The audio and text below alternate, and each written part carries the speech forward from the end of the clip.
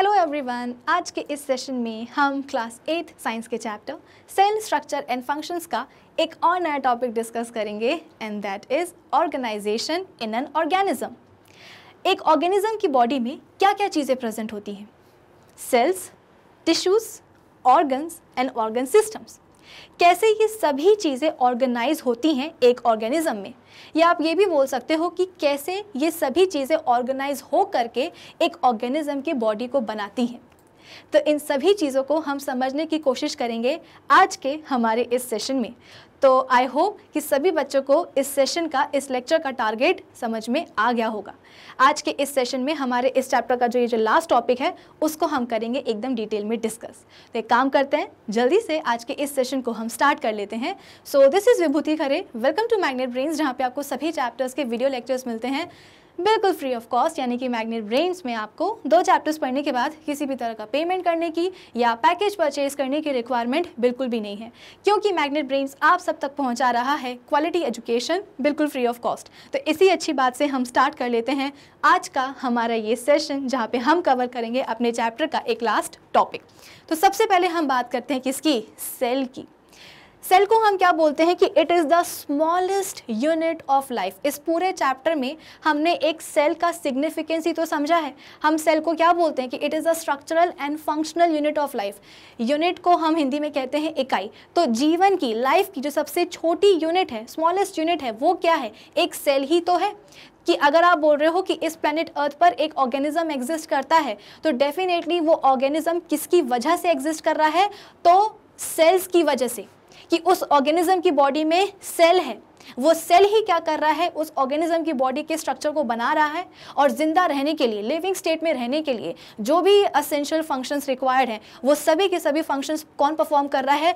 उसी ऑर्गेनिज्म के अंदर प्रेजेंट सेल तो यहाँ पे बोला जा रहा है कि a cell is the smallest unit of life which has a definite structure and performs a specific function जिसका कि हम बोलते हैं कि एक डेफिनेट स्ट्रक्चर uh, होता है और एक स्पेसिफिक फ़ंक्शन वो परफॉर्म करता है।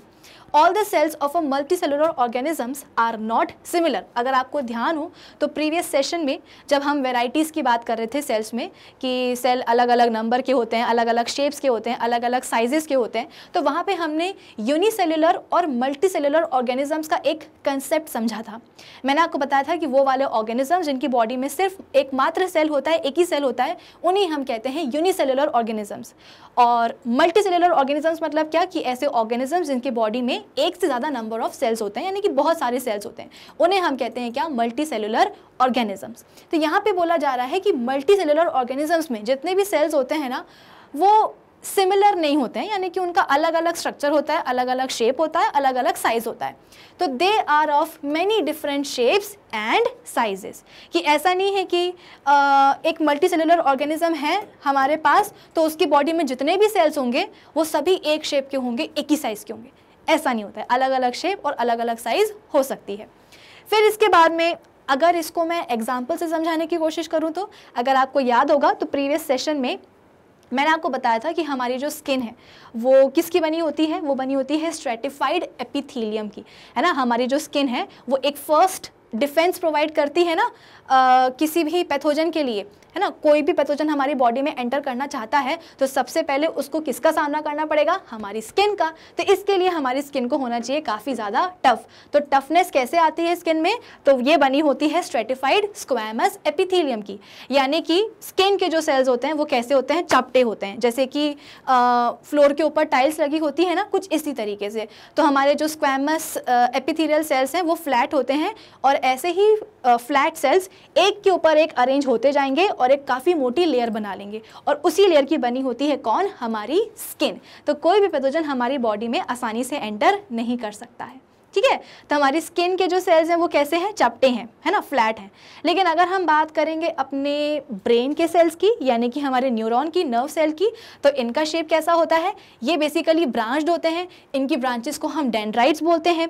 फिर एक प्रोमिनेंट ब्रांच निकल के आती है सेल बॉडी से, जिसको हम बोलते हैं एग्जॉन ये एग्जॉन भी एंड पे जाकर के जो है ना, अपनी ब्रांचेस में डिवाइड हो जाता है, जिसको कि हम एग्जॉन टर्मिनल्स बोलते हैं। तो यहाँ पे हमने बोला कि नर्व सेल न्यूरॉन ये भी हमारी बॉडी का सेल है, और हमारे जो स्किन के जो सेल्स हैं स्क्वामस सेल्स ये भी हमारी बॉडी के ही सेल्स हैं। लेकिन दोनों के ही स्ट्रक्चर में शेप में और साइज़ में कितना डिफरेंस है? है कि नहीं? चलो। फिर इसके बाद में most of the cells are specialised to perform a particular function देखो जैसे जैसे हम मल्टी सेलुलर ऑर्गेनिज्म की बात करते हैं ना तो कहीं ना कहीं ऑर्गेनिज्म की बॉडी में ना कॉम्प्लेक्सिटी बढ़ जाती है। क्यों बढ़ जाती है? देखो, अगर हम कंपेयर करें किसको सिंगल सेल्ड ऑर्गेनिजम्स के साथ। कि हमारे पास एक ऑर्गेनिज्म है एग्ज़ाम्पल अमीबा है हमारे पास, ठीक है? अब अमीबा में तो ले दे करके उसके पास उसका खुद का एक ही सेल है।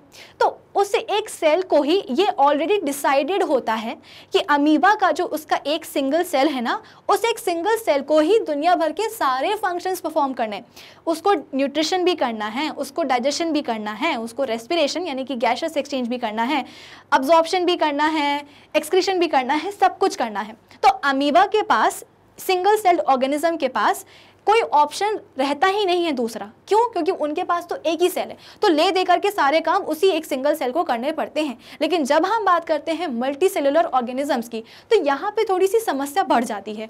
क्यों बढ़ जाती है? क्योंकि देखो एग्ज़ाम्पल के लिए मैं आपको बताती हूँ कि एक आपके स्कूल में कोई फ़ंक्शन जो है ना होने वाला है कंडक्ट ठीक है? अब एक सपोज़ एक क्लास में कितने बच्चे हैं? सौ बच्चे हैं, ठीक है? एक क्लास में सौ बच्चे हैं। अब सभी के सभी जो सौ बच्चे हैं ना, वो बहुत ही टैलेंटेड टाइप के हैं। यानी कि सभी के सभी सौ बच्चे गाना भी गा सकते हैं डांस भी कर सकते हैं पेंटिंग भी कर सकते हैं, कोई ड्रामा भी परफॉर्म कर सकते हैं। सब बहुत अच्छे बच्चे हैं, ठीक है? अब क्या हुआ कि टीचर ने आकर के बोला कि हमारे स्कूल में ये ये कंपटीशन या ये ये फ़ंक्शन जो है ना कंडक्ट होने वाला है तो इसके लिए आप लोग क्या करो, अपनी प्रिपरेशन स्टार्ट कर दो।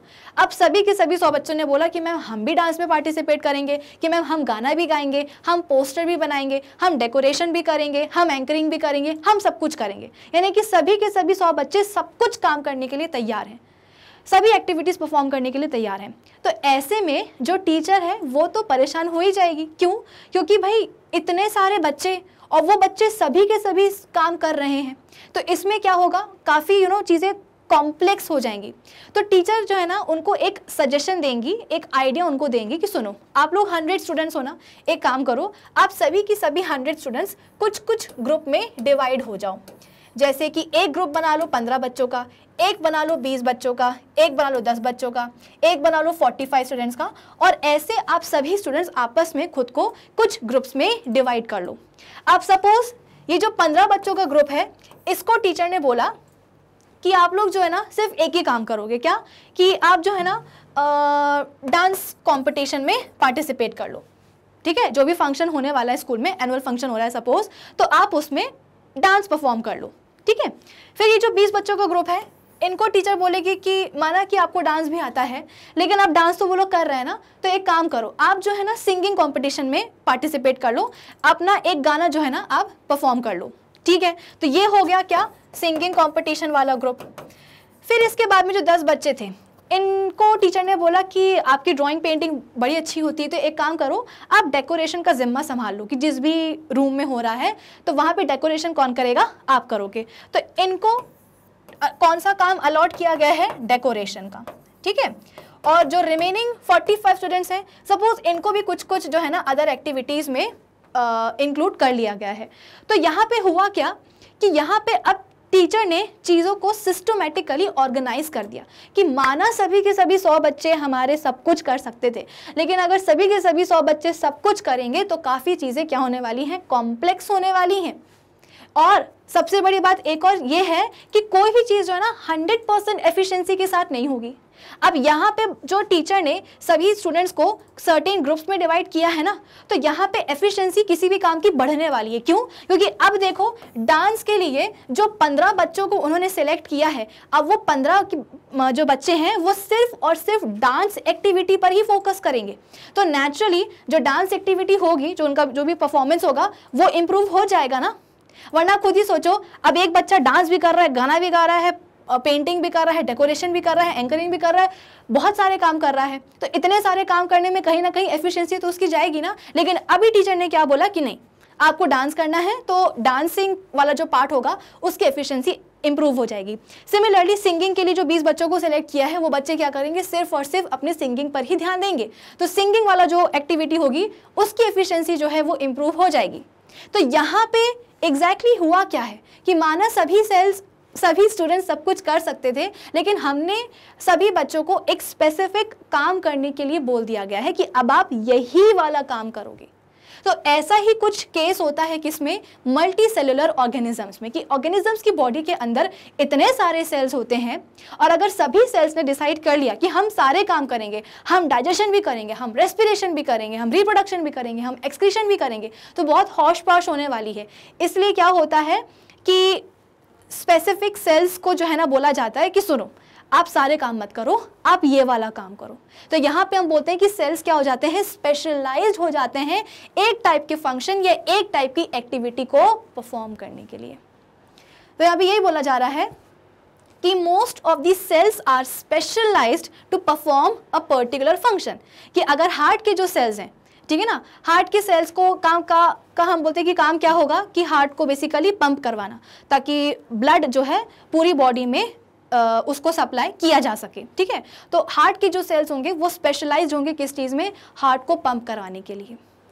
They are called specialised cells और इनको हम क्या बोलते हैं? स्पेशलाइज्ड सेल्स बोलते हैं। हमारे न्यूरॉन्स भी, हमारे नर्व सेल्स भी क्या है? स्पेशलाइज्ड सेल्स हैं। इनका काम क्या है? इम्पल्सिस का ट्रांसमिशन करवाना, है ना? सेंसरी न्यूरॉन्स जो है ना इन्फॉर्मेशन लेकर के जाते हैं ब्रेन तक ब्रेन उसको एनालाइज करेगा, फिर जो भी ऑर्डर रिलीज़ करेगा, उस ऑर्डर को हमारे डिफरेंट बॉडी पार्ट्स तक कौन से वाले न्यूरॉन्स लेकर के जाते हैं? तो मोटर न्यूरॉन्स तो न्यूरॉन्स का काम क्या होता है? इनको हम स्पेशलाइज सेल क्यों बोलते हैं? क्योंकि इनका काम होता है सिर्फ़ और सिर्फ़ इम्पल्स का कंडक्शन या उनका ट्रांसमिशन कराना. ऐसा कभी नहीं होगा कि कोई न्यूरॉन उठ के खड़ा हो जाएगा और आज बोलेगा कि आज हमारा काम नहीं है इम्पल्स कंडक्शन करने का मन नहीं है। आज हम क्या करेंगे? आज हम डाइजेशन की प्रोसेस करेंगे और जाकर के पेट में से एचसीएल निकलवाएँगे। ऐसा नहीं होगा। जो काम अलॉट कर दिया गया ना, वो हमेशा ज़िंदगी भर वही काम करेंगे। इसीलिए उनको हम कहते हैं क्या? स्पेशलाइज्ड सेल्स आई बात समझ में? चलो। फिर इसके बाद में नेक्स्ट क्या है हमारे पास कि for example in animals muscle cells are specialised to contract and relax so that they can bring about movement in the body parts हम मसल सेल्स को भी स्पेशलाइज सेल्स कहते हैं। क्यों? क्योंकि इनका काम होता है कॉन्ट्रैक्शन और रिलैक्सेशन करना। और इन्हीं के कॉन्ट्रैक्शन और रिलैक्सेशन से हम जो है डिफरेंट बॉडी मूवमेंट्स परफॉर्म कर पाते हैं। कभी अगर चोट लग जाती है मसल पुल हो जाता है तो मूवमेंट में दिक्कत होती है। है ना? मूवमेंट हम बोलते हैं कि ज़्यादा कर भी नहीं पाते, यानी कि रिस्ट्रिक्ट हो जाता है हमारी बॉडी बॉडी का मूवमेंट प्लस हम बोलते हैं कि पेनफुल मूवमेंट भी होता है। क्यों? क्योंकि मसल्स डैमेज हो गए ना तो मसल्स का काम क्या है? रिलैक्स करना और कॉन्ट्रैक्ट करना। तो बेचारी मसल्स वो काम कर ही नहीं पाती हैं ठीक से। मतलब उनकी एफिशिएंसी कम हो जाती है। एफिशिएंसी कम हो जाएगी तो क्या होगा? हमारा वो वाला जो पर्टिकुलर बॉडी पार्ट होगा, वो मूव ही नहीं कर पाएगा। ठीक है? तो in plants photosynthetic cells are specialised to carry out photosynthesis and make food plants में भी हमारे जो फोटोसिंथेटिक सेल्स हैं, उनका काम होता है फोटोसिंथेसिस करना और वही क्या करते हैं? खाना बनाते हैं। There are many types of specialized cells in the animals and plants which perform different functions. और ये तो केवल कुछ ही एग्जाम्पल्स हैं। न्यूरॉन्स मसल सेल्स या फोटोसिंथेटिक सेल्स। हमारे प्लांट्स और एनिमल्स में कई टाइप के स्पेशलाइज बेसिकली सेल्स होते हैं, जो कि डिफरेंट फ़ंक्शंस परफॉर्म करते हैं। ठीक है? चलो। फिर इसके बाद में नेक्स्ट क्या है हमारे पास? अब देखो सेल्स का कंसेप्ट मैंने आपको समझा दिया ना कि सेल्स स्पेशलाइज्ड सेल्स में कैसे ट्रांसफॉर्म हो जाते हैं। अब हम बात करते हैं टिश्यूज़ की। कि जैसे कि एक न्यूरॉन है तो हमने डिसाइड किया कि सुनो उस नर्व सेल को जाकर के बोला कि आपके पास ब्रांचेस हैं, आपके पास डेंड्राइट्स हैं, आपके पास एक्जॉन है एक्जॉन टर्मिनल्स हैं तो आप आराम से इम्पल्स का कंडक्शन करा सकते हो।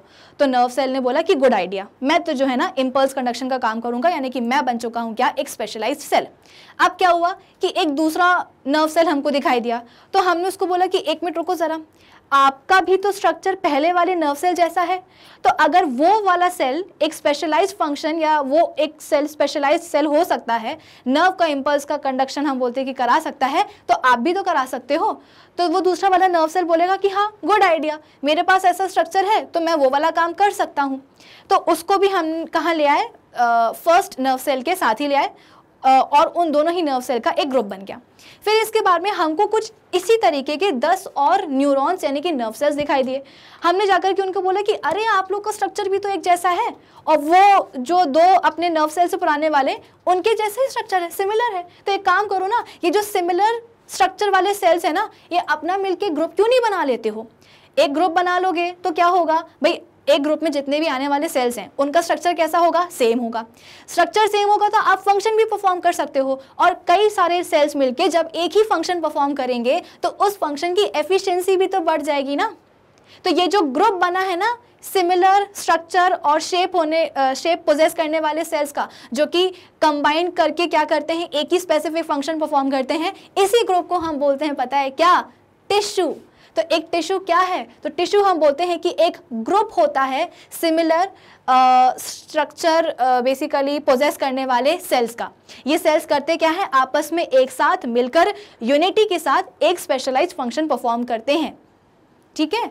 So a multicellular organism, animal or plant is made up of millions of cells. The cells in a multicellular organism do not work as a single cells. They work in groups of similar cells. So a group of similar cells which work together to perform a particular function is called a tissue. समझ में आई बात कि हमारे पास एक nerve cell था, उसको हमने बोला कि तुम इम्पल्स का कंडक्शन करा लो भैया, तुम्हारा स्ट्रक्चर ऐसा है, तुम भी सूट करेगा वो काम। दूसरा हमको दिखाई दिया, हमने बोला कि अरे, आपका स्ट्रक्चर भी तो वैसे ही है, चलो आप भी इम्पल्स का कंडक्शन करवा लो, उसने बोला, ठीक है नॉट अ बैड आइडिया फिर इसके बाद में हमको दस क्या, हमको बीस और ऐसे सेल दिखाई दिए, जिनका स्ट्रक्चर आपस में तो मिलता जुलता था ही था, साथ ही साथ जो अपने पुराने वाले न्यूरॉन्स थे ना, उनसे भी मैचिंग का था। तो हमने बोला कि भाई जब स्ट्रक्चर सेम है तो अलग अलग क्यों बैठे हुए हो? जाओ, एक ग्रुप बनाओ और एक ग्रुप बना ही लोगे तो फिर हम बोलते हैं कि फ़ंक्शन भी एक ही परफॉर्म करो। तो फ़ंक्शन की एफिशिएंसी इंप्रूव हो जाएगी, बढ़िया तरीके से फ़ंक्शन होगा। तो उस ग्रुप को हम क्या बोलेंगे? एक टिश्यू बोलेंगे। समझ में आई बात? चलो।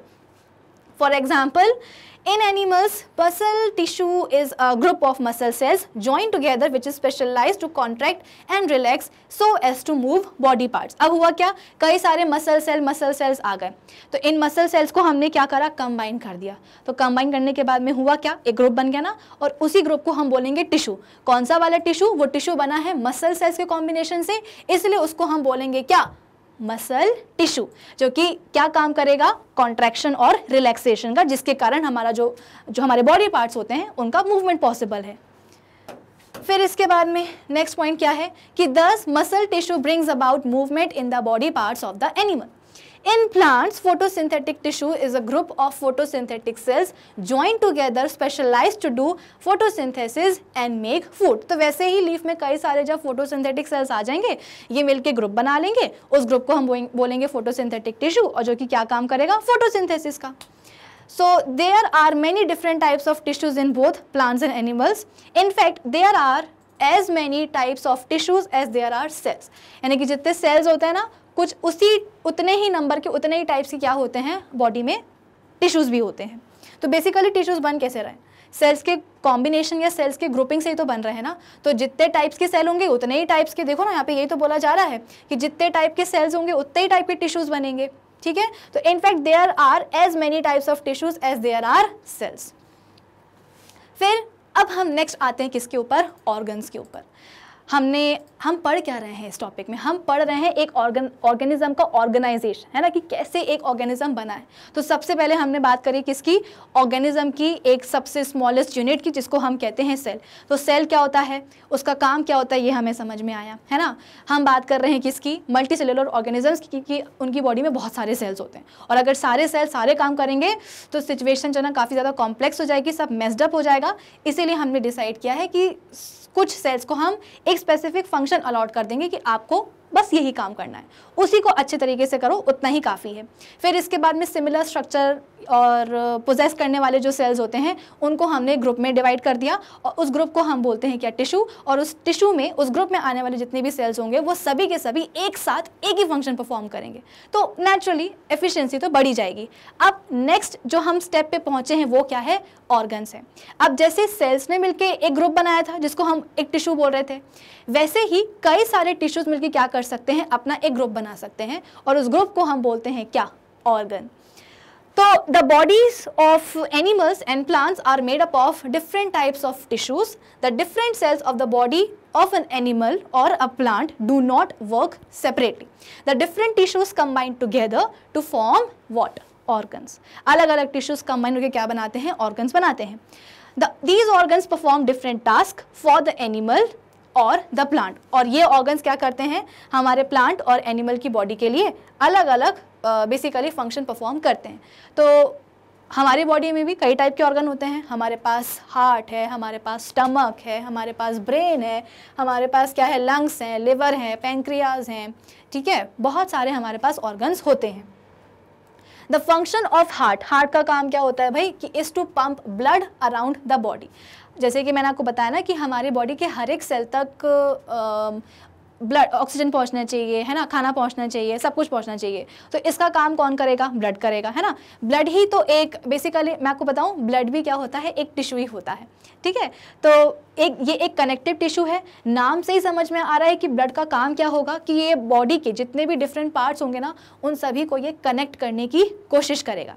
तो ब्लड का जो कॉन्टैक्ट है, वो बॉडी के हर एक सेल तक रहता है। तो हर एक सेल को क्या चाहिए है? ब्लड चाहिए बेसिकली तो ये ब्लड की सप्लाई कौन करेगा? तो हमारा हार्ट ठीक है? एक बड़ा ही अच्छा सा जी आई है, आप इससे समझ सकते हो। कुछ इस तरीके से हमारा जो हार्ट है, वो क्या करता है? ये बेसिकली हार्ट की जो मसल्स हैं, वो यहाँ पे काम कर रही हैं। ठीक है? तो आप देख सकते हो यहाँ पे कि यहाँ पे कंटिन्यूसली कॉन्ट्रैक्शन और रिलैक्सेशन चल रहा है। इसी कॉन्ट्रैक्शन से क्या होता है? भाई देखो, जैसे ही हार्ट की मसल्स ने कॉन्ट्रैक्ट किया, ठीक है? तो अंदर का हम बोलते हैं कि प्रेशर बढ़ा। इस प्रेशर के बढ़ने से होगा क्या कि हार्ट के चैम्बर्स के अंदर जो भी ब्लड होगा, वो एक साथ जो है ना, जो भी मतलब कि जैसे कि यहाँ से क्या निकल रही हैं, ब्लड वेसल्स निकल रही हैं, ठीक है? तो हार्ट की मसल्स ने जैसे ही कॉन्ट्रैक्ट किया तो ये जो चैम्बर्स होते हैं हार्ट के, ये क्या हो जाएँगे? ये सिकुड़ जाएँगे। सिकुड़ने के कारण प्रेशर बढ़ जाएगा और इस प्रेशर के कारण ब्लड हार्ट के इन चैम्बर्स में जो भी ब्लड भरा होगा, वो पूरा का पूरा ब्लड कहाँ आ जाएगा? वो हम बोलते हैं कि ब्लड वेसल्स में आ जाए और इन ब्लड वेसल से जो ब्लड होगा, वो हमारे डिफरेंट बॉडी पार्ट्स तक सप्लाई हो जाएगा। तो ये चीज़ कैसे पॉसिबल हुई? वो कुछ इस तरीके से कि हमारी जो हार्ट है, उसकी जो वॉल्स हैं उन वॉल्स में क्या है? हार्ट के सेल्स हैं कार्डियक सेल्स हैं, है ना? तो वो सेल्स क्या कर रहे हैं? बेसिकली कॉन्ट्रैक्शन और रिलैक्सेशन कर रहे हैं, जिसके कारण हार्ट की जो वॉल है, ये कॉन्ट्रैक्ट और रिलैक्स हो रही है, जिसके कारण ब्लड जो है उसकी पंपिंग पॉसिबल है। तो यहाँ पे आपने देखा कि हार्ट के जो सेल्स हैं, वो किस चीज़ में स्पेशलाइज्ड होते हैं, ठीक है? तो यहाँ पे बात किस चीज़ की की जा रही थी? यहाँ पे हमने ये वाला पॉइंट तो डिस्कस कर लिया था, है ना? चलो तो the function of the heart is to pump blood around the body ये हमने देख लिया। The function of stomach is to digest food जैसे कि हमने ये पहले भी पढ़ा है कि हमारे स्टमक का फ़ंक्शन क्या होता है? देखो स्टमक में हम बोलते हैं कि एचसीएल यानी कि हाइड्रोक्लोरिक एसिड वो रिलीज़ होता है। तो जो भी हम खाना खाते हैं ना तो वो खाना सबसे पहले तो जाता है कहाँ? हमारे स्टमक में। स्टमक का जो एचसीएल होता है उसके साथ जाकर के खाना जो है प्रॉपरली मिक्स हो जाता है। ठीक है? फिर इसके बाद में ये खाना आगे जाता है कहाँ? स्मॉल इंटेस्टाइन में जहाँ पे आ, आप बोल सकते हो कि मेजर डाइजेशन की प्रोसेस होती है अब्जॉर्प्शन होता है। The function of the brain is to control all the parts of the body lungs are the organs for breathing lungs का क्या होता है? ब्रीदिंग की प्रोसेस करना O2 को अंदर लेना और बॉडी के अंदर जो कार्बन डाइऑक्साइड प्रोड्यूस हुई है, उसको बॉडी के बाहर फेंकना। The function of the lungs is to take in oxygen and give out carbon dioxide कुछ इस तरीके से है ना? ब्रीदिंग की प्रोसेस हम करते हैं तो O2 को इनहेल करेंगे और कार्बन डाइऑक्साइड को एक्सेल कर देंगे। फिर इसके बाद में जैसे कि मैंने आपको बताया कि स्टमक में एचसीएल सेक्रेट होता है तो जो भी हम खाना खाते हैं, वो फ़ूड पाइप ईसोफेगस से कहाँ आता है? स्टमक में आता है। स्टमक में जो भी एचसीएल प्रेजेंट है, उसके साथ अच्छी तरीके से मिक्सिंग हो जाती है। और पता है आपको क्या? हाँ एक चीज़ और, ये जो मिक्सिंग की प्रोसेस होती है ना तो ये मिक्सिंग की प्रोसेस को हम, पता क्या कहते हैं? चर्निंग मूवमेंट कहते हैं। इसमें होता क्या है कि, भाई देखो, ऐसा तो ये पॉसिबल नहीं है ना कि हमने जो भी खाना खाया है, उसको स्टमक में जो भी एच प्रेजेंट है, उसके साथ अच्छी तरीके से मिक्स करने के लिए हम क्या करते हैं? अंदर एक चम्मच डालते हैं और उसको जो है ना स्टमक के लेवल तक लेके जाते हैं और अच्छी तरीके से चीज़ों को कुछ इस तरीके से स्टर कर देते हैं। ये पॉसिबल नहीं है। यानी कि एक बार खाना बॉडी के अंदर चला गया, अब उस पर हमारा कोई भी कंट्रोल नहीं रहेगा। जो भी काम करना है, जो भी थोड़ा मिक्सिंग करनी है, वो ऑर्गन्स को अपने लेवल पे ही करनी रहेगी। तो कैसे? ये जो हमारी स्टमक की जो वॉल्स होती है ना, ये अगेन स्टमक की जो वॉल्स है, वो क्या है? मसल्स ही तो हैं। और मसल को कौन बनाता है? हमारे मसल सेल्स बनाते हैं मसल फाइबर्स बनाते हैं। तो बेसिकली स्टमक की जो वॉल है, इसकी जो मसल्स है, वो भी क्या करती हैं? कॉन्ट्रैक्ट रिलैक्सेशन करती हैं, जिसके कारण जैसे हमारे घर में मिक्सी होती है ना, वैसे ही हमारा जो स्टमक है, वो भी एक मिक्सर की तरह काम करता है। और अंदर कैविटी में जो भी एचसीएल है और खाना है, उसको अच्छी तरीके से आपस में मिक्स करता है, ताकि पूरा का पूरा खाना जो है ना प्रॉपरली एच के साथ मिक्स हो जाए। ठीक है? तो यहाँ भी हम बोलते हैं कि चर्निंग मूवमेंट ऑफ़ स्टमक की वॉल्स का। ठीक है? चलो, फिर इसके बाद में हमारा जो ब्रेन है, उसका काम क्या होता है? बॉडी के हर एक पार्ट को कंट्रोल करना और आपस में कोऑर्डिनेशन बिठाना। फिर इसके बाद में ये तो बात हुई किसकी? एनिमल्स की। प्लांट्स में भी ऐसा ही कुछ होता है। The body of a plant also contains many organs plant की बॉडी के पास भी कई सारे ऑर्गन्स होते हैं।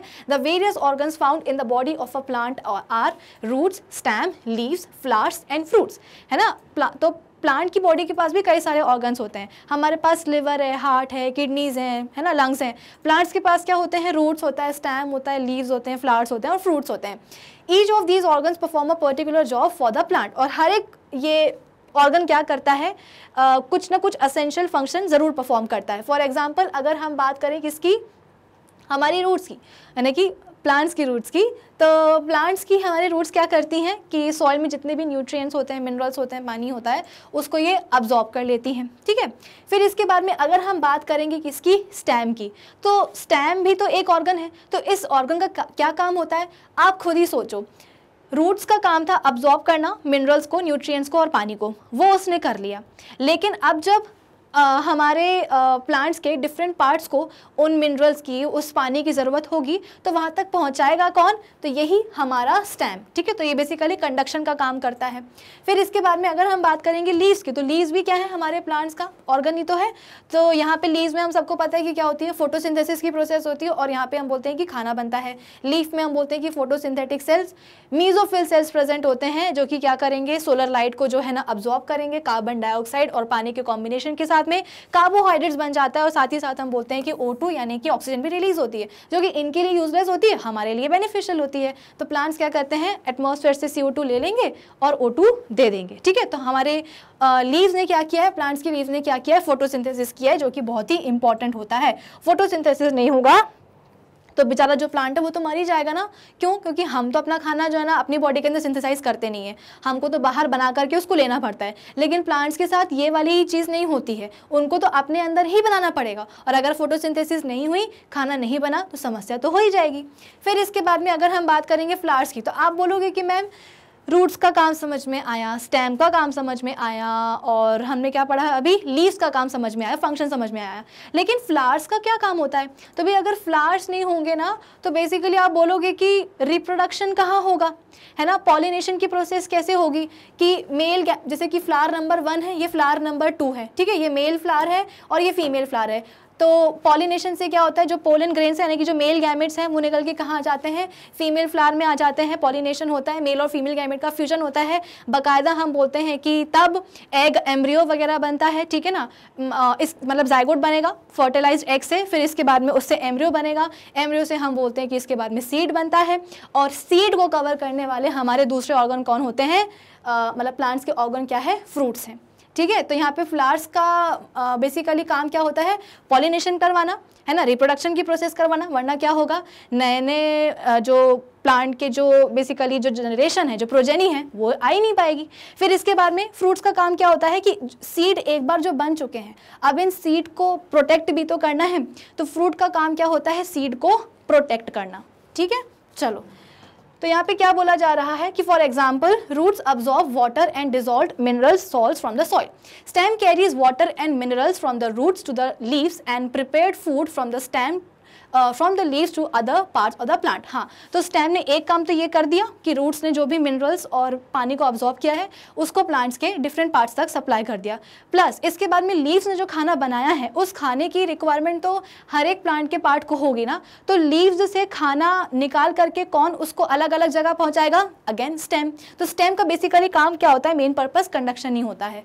फिर it also holds branches and leaves और स्टैम ही तो होता है, पेड़ का तना ही तो होता है जो कि ब्रांचेस और लीव्स को जो ना पकड़ के रखता है। The leaves prepare food for the plant by the process of photosynthesis the flowers are the reproductive organs which lead to the formation of fruits and seeds आप खुद ही सोचा अगर प्लांट्स नहीं प्लांट्स के या ट्रीज के फ्लावर्स नहीं होंगे तो रिप्रोडक्शन हम बोलते हैं, कहाँ होगा? अगर रिप्रोडक्शन नहीं होगा तो फ्रूट्स नहीं बनेंगे सीड्स नहीं बनेंगे। सीड्स नहीं बनेंगे तो न्यू प्लांट की जनरेशन कैसे आएगी?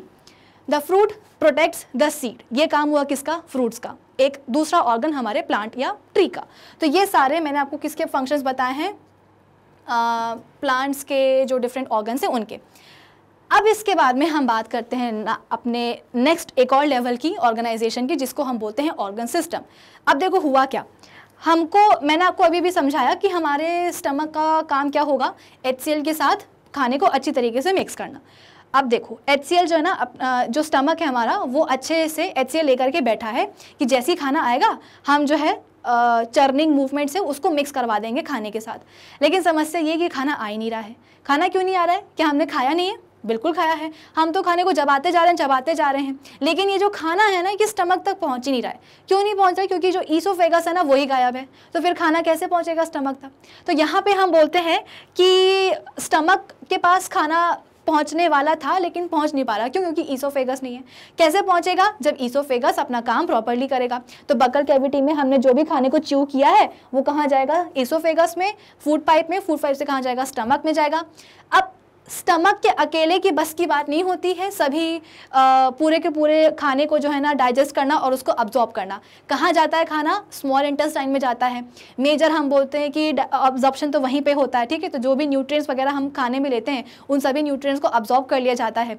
फिर बाकी हम बोलते हैं कि खाना लार्ज इंटेस्टाइन में जाता है। लार्ज इंटेस्टाइन में जा के हम बोलते हैं कि आ, पानी और ड्रग्स वगैरह का यूजुअली क्या होता है? अब्जॉर्प्शन होता है। फिर इसके बाद में इतना कुछ होने के बाद में वो वाला फ़ूड सब्सटेंस जो कि डाइजेस्ट नहीं हो सकता या जो भी है, जो वेस्ट है, उसको जो है ना अपनी बॉडी से बाहर निकाल देते हैं। तो ये जो पूरी डाइजेशन अब्जॉर्प्शन की प्रोसेस हुई है, क्या इसमें केवल एक ही ऑर्गन इन्वॉल्व है?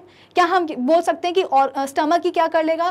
पूरा डाइजेशन कर लेगा अब्जॉर्प्शन कर लेगा? बिल्कुल भी नहीं। क्या केवल स्मॉल इंटेस्टाइन सारे काम कर लेगी? बिल्कुल भी नहीं। तो यहाँ पे हम बोल रहे हैं कि डाइजेशन और अब्जॉर्प्शन की प्रोसेस में कई सारे ऑर्गन्स इन्वॉल्व हैं। तो यहाँ पे ये सभी ऑर्गन्स मिलकर क्या कर रहे हैं? ऑर्गन सिस्टम बना रहे हैं। हालाँकि अगर हम स्मॉल इंटेस्टाइन की बात करेंगे तो वो खाने का जो डाइजेशन कर रही है, वो कुछ अलग तरीके से कर रही है। कैसे? उसमें तरह तरह के डाइजेस्टिव जूसेस आ रहे हैं। पेनक्रिया से भी आ रहे हैं गॉल ब्लेडर से भी आ रहे हैं। स्मॉल इंटेस्टाइन के खुद के कई सारे जूसेस होते हैं, जो कि क्या करते हैं, खाने को जाकर के डाइजेस्ट करते हैं। स्टमक का जो प्रोसेस है डाइजेशन का, वो अलग है। वो एचसीएल के साथ में हम बोलते हैं कि डाइजेशन करता है। सभी का हम बोलते हैं कि अलग अलग मोड चल रहा है डाइजेशन का। कुछ, कोई और अलग अलग चीज़ें डाइजेस्ट कर रहा है, लेकिन कहीं ना कहीं सभी के सभी आपस में कनेक्टेड हैं। कैसे? क्योंकि सब कर क्या रहे हैं? डाइजेशन ही तो कर रहे हैं। तरीका भले ही सबका अलग अलग क्यों ना हो, लेकिन सभी एक ही फ़ंक्शन को परफॉर्म करने की कोशिश कर रहे हैं effectively and that is digestion and absorption of the food ठीक है? तो ये सभी ऑर्गन्स मिलकर क्या बनाते हैं? ये बना लेते हैं ऑर्गन सिस्टम यानी कि डाइजेस्टिव सिस्टम जिसको हम बोलते हैं, जिसमें बकल कैविटी भी शामिल है। हमारा, हमारे जो टंग है, हमारे बकल कैविटी में जो सलाइवरी ग्लैंड है, वो उसमें शामिल हैं, हमारे दांत शामिल हैं। फिर इसके बाद में हमारा फ़ूड पाइप शामिल है stomach intestine large intestine anus rectum ये सब शामिल है। ठीक है? एक और एग्ज़ाम्पल से समझने की कोशिश करते हैं कि मैंने आपको बताया कि हार्ट का का क्या काम होगा कि ब्लड को बेसिकली पंप करना, है ना? और ये ब्लड हम बोलते हैं कि डिफरेंट बॉडी के पार्ट्स तक बेसिकली चला जाएगा। लेकिन एक बात बताओ, ये जो डिफरेंट बॉडी पार्ट्स तक ब्लड जा रहा है, इस ब्लड में है क्या? इस ब्लड में है ऑक्सीजन सवाल ये है कि इस ब्लड में ये ऑक्सीजन आ कहाँ से रही है? तो ये जो हमारे लंग्स है ना, जो हमारे फेफड़े हैं, यही तो डालते हैं ब्लड में क्या? ओ भाई हमने ब्रीदिंग करी ब्रीदिंग से O2 को हमने इनहेल कर लिया। अब ये O2 गई कहाँ? हमारे लंग्स में गई ठीक है? लंग्स के लेवल पर हम बोलते हैं कि ब्लड वेसल्स आती हैं और इन ब्लड वेसल्स में भरा होता है क्या? बेसिकली uh, ब्लड तो लंग्स क्या करते हैं? उनके पास जो O2 होती है वो दे देते हैं किसको? ब्लड वेसल में फ्लो करने वाले ब्लड को। तो अब ब्लड क्या हो गया है? ऑक्सीजन रिच हो गया है। अब यही ऑक्सीजन रिच ब्लड जो है कहाँ जाएगा? हार्ट में जाएगा और हार्ट क्या करेगा? इस ऑक्सीजन रिच ब्लड को पंप करेगा ताकि पूरे बॉडी में जो है अच्छा वाला ओ टू रिच ब्लड पहुँच जाए डिफरेंट पार्ट्स तक पहुँच जाए। अब आप खुद सोचो, अगर हमारी लंग्स नहीं होगा तो क्या होगा? ऐसा नहीं है हार्ट तो ब्लड को पंप करेगा, लेकिन वो वाला जो ब्लड होगा, वो ओटो रिच तो नहीं होगा। क्यों? क्योंकि उस ब्लड को ओटो रिच बना कौन रहा है? हमारे लंग्स बना रहे हैं। तो कहीं ना कहीं हमारे जो डिफरेंट मतलब बेसिकली अगर हम बात करेंगे अपने हार्ट की तो वो एक अलग ऑर्गन सिस्टम है। लंग्स भी हम बोल रहे हैं कि वो एक अलग अपना रेस्पिरेटरी सिस्टम बनाते हैं, जिसमें कि हमारे नोस्ट्रल्स आते हैं, है ना? फेरिंग्स आते हैं, ये ट्रेकिया आता है, जिसको हम विंड पाइप बोलते हैं। तो वो, जिसमें डायफ्राग्म वगैरह भी आ रहा है तो वो एक अपना अलग रेस्पिरेटरी सिस्टम है। रेस्पिरेटरी सिस्टम भी क्या है? एक ऑर्गन सिस्टम है है ना? फिर जो हार्ट जो है वो भी अपना एक अलग सर्कुलेटरी सिस्टम बना रहा है, जिसमें कि सारी ब्लड वेसल्स आ रही हैं हार्ट वगैरह आ रहे हैं। लेकिन देखो, यहाँ पे दो अलग अलग ऑर्गन सिस्टम क्या है, आपस में जुड़े हुए हैं। एक दूसरे के बिना ये काम नहीं कर पाएँगे, ठीक है? The various organ in an organism animal और plant do not work separately the organ work in groups a group of interconnected organ which work together to do a big job for the organism is called an organ system uh, or just say a system. All the multicellular animals and plants have many organ systems in their bodies to carry out various life processes. For example, the various organ systems of animals including human beings are कौन कौन से organ system है हमारे पास digestive, respiratory, circulatory, nervous, excretory जिसमें कि uh, हम बोलते हैं कि किडनी वगैरह सब आ जाती है urinary system reproductive system muscular system and skeletal system तो हमारी बॉडी में तरह तरह के सिस्टम पाए जाते हैं each organ system performs a specific function for the body हर एक ऑर्गन सिस्टम जो है ना स्पेसिफिक फ़ंक्शन परफॉर्म करेगा हमारी बॉडी का for example the function of digestive system is to break down the food into simpler substances which can be absorbed by the body हमारे पूरे digestive system का काम क्या है? जो भी हम खाना खाते हैं, उसको छोटे छोटे सब्सटेंसेज में तोड़ना, इसके बाद में उसका अब्जॉर्प्शन भी करवाना। है ना? चलो।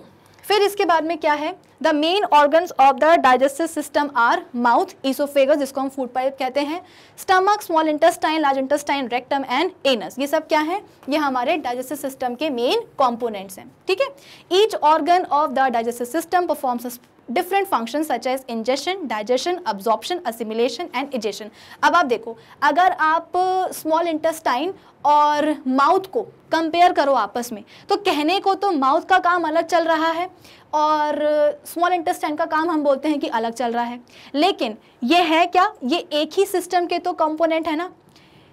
माउथ का जो भी काम चल रहा है, ये क्या कर रहा है? जो भी हम खाना खाते हैं, जो भी हम फ़ूड पार्टिकल लेते हैं, माउथ ही क्या करता है? बकर कैविटी ही क्या करती है? इस फ़ूड आइटम को छोटे छोटे पीसेस में डिवाइड करती है। अगर हम सीधे सीधे खाने को स्वालो कर ले, निगल लें तो उसका डाइजेशन नहीं हो पाएगा, वो एज इट इज़ बॉडी के बाहर निकल आएगा। ठीक है? तो देखा जाए तो माउथ का काम अलग है।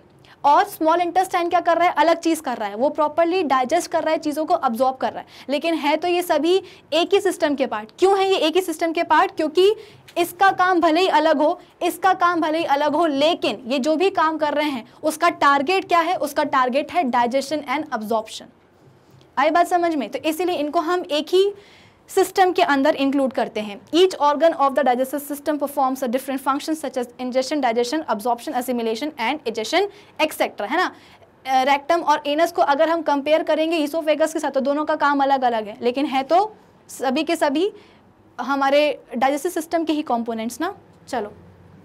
फिर क्या है next the plants have two main organ system plants के पास दो मेन ऑर्गन सिस्टम होते हैं root system and shoot system the root system consist of various types of roots whereas shoot system में क्या होता है? Stem leaves flowers and fruits etcetera different organs of the organ systems of plants perform specific function for the plants for example roots का काम क्या होता है? पानी और मिनरल्स को ऑब्जॉर्व करना. लीव्स अभी अभी मैंने आपको बताया था, उसका काम होता है क्या? फोटोसिंथेसिस करना. तो कुल मिलाकर के यहाँ पे बात हुई किसकी? ऑर्गन सिस्टम की.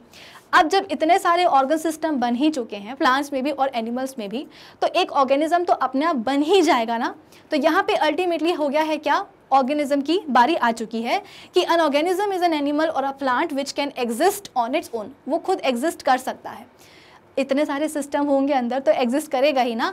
An organism is made up of many different organ systems which work together to perform all the functions necessary for maintaining life for example, the human being is an organism हम क्या है? Organism ही तो है। हमारी body में इतने सारे system है digestive respiratory circulatory nervous excretory reproductive muscular skeletal तो इतने सारे सिस्टम होने के बाद बाद में हमारी बॉडी में अलग अलग काम होंगे। और इन अलग अलग काम से क्या होगा? बॉडी में अलग अलग फ़ंक्शंस परफॉर्म होंगे। और जिसके कारण हम ह्यूमन बींग्स ज़िंदा रह पाते हैं। तो देखा जाए तो इन सिस्टम्स को बनाने वाले हैं कौन? सेल्स ही तो हैं। All these organ systems work together to make man और human being a living organism a cat dog bird neem tree mango tree and a rose plant etcetera are all organisms which are made up of many different organ systems working together फिर इसके बाद में sales make up tissues अब यहाँ पे बिल्कुल एक conclusion हम निकाल के रख रहे हैं इस पूरे टॉपिक का कि सेल्स क्या बनाते हैं? टिश्यूज़ बनाते हैं। टिश्यूज़ बनाते हैं ऑर्गन्स ऑर्गन्स बनाते हैं organ system and finally organ system क्या बनाते हैं? ऑर्गेनिज्म बनाते हैं। तो ये जो आपको एक सीक्वेंस मैंने आपको बताया है कि आपको ये याद रहेगा कि आपके पास एक सेल था प्लांट सेल कई सारे प्लांट सेल्स आए सिमिलर शेप वाले, जो कि एक कॉमन फ़ंक्शन परफॉर्म कर रहे थे। उनने मिलकर अपना एक ग्रुप बना दिया, यानी कि हमारे पास प्लांट का टिश्यू आ गया। अब इन प्लांट के टिश्यूज ने क्या किया? आपस में मिल गए ये, और इनने क्या बना दिया? एक ऑर्गन यानी कि एक पत्ती बना दी। पत्ती क्या है? एक ऑर्गन फिर इसके बाद में कई सारी पत्तियाँ आ गई, है ना? स्टॉक वगैरह आ गई तो इनने मिलकर क्या बना दिया? एक ऑर्गन सिस्टम बना दिया, यानी कि शूट बना दिया। फिर इसके बाद में इस तरीके से पूरा का पूरा एक ऑर्गेनिज्म यानी कि प्लांट जो है, वो तैयार हो गया। क्लियर है? तो ये वाला सीक्वेंस आपको समझना होगा cell tissues organs organ system and then organism इसी को हम कहते हैं organization in an organism the, organizi- the organization within the living body can now be depicted as follows. ठीक है? तो आज के सेशन के लिए भाई बस इतना ही। तो आज के सेशन में हमने इस चैप्टर को कर लिया है कंप्लीट जितने भी टॉपिक्स थे हमने उनको एकदम डिटेल में जाकर के समझने की कोशिश की है डिस्कस किया है। अब फाइनली बारी आती है किसकी एक्सरसाइज क्वेश्चंस को सॉल्व करने की तो वो हम करेंगे अपने नेक्स्ट सेशन में। हम मिलेंगे अपने नेक्स्ट सेशन में, तब तक आप क्या करेंगे? आप जाओगे गूगल पर और वहाँ पे आप टाइप करोगे मैग्नेट और सर्च कर लेना। जैसे आप सर्च करोगे तो हमारी ऑफिशियल वेबसाइट आ जाएगी। उसको टैप करोगे तो आपके सामने आ जाएगा ये वाला पेज जहाँ पे लिखा होगा the magnet brains education platform इस पेज को जब आप और स्क्रोल करोगे, आपके सामने आएगा ऑप्शन एक्सप्लोर टॉप कोर्सेज का, जहाँ पे आपको क्लास ट्वेल्थ से लेकर के क्लास फ़र्स्ट तक के सभी कोर्सेज होंगे अवेलेबल सपोज़ आपको क्लास एट्थ की क्या देखनी है? साइंस देखनी तो आप क्या करोगे? इस पर जाकर के टैप करोगे। जैसे ही टैप करोगे तो फिर यहाँ पे खुल जाएगा क्या? Class eight science video tutorial by Vibhuti Khare फिर इसके बाद में यहाँ पे आपको सभी चैप्टर्स जो भी अभी तक हमने कर लिए हैं या कर रहे हैं, उन सभी के लेक्चर्स यहाँ पे हो जाएँगे आपको अवेलेबल फॉर एग्ज़ाम्पल आपको देखना है फ़र्स्ट चैप्टर हमारा क्रॉप प्रोडक्शन एंड मैनेजमेंट वाला। तो इसके यहाँ पे टोटल फोर्टीन लेक्चर्स हैं। जैसे आप इस पे क्लिक करोगे तो इस चैप्टर का जो फ़र्स्ट लेक्चर होगा